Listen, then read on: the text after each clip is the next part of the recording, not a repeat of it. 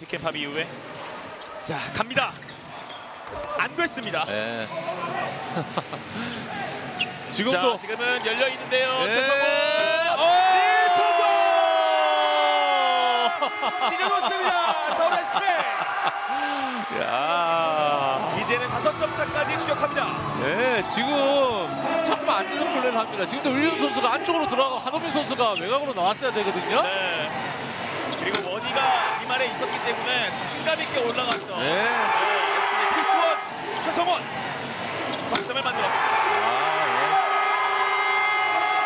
아, 세레머니 상당히 수줍게 하네요. 네.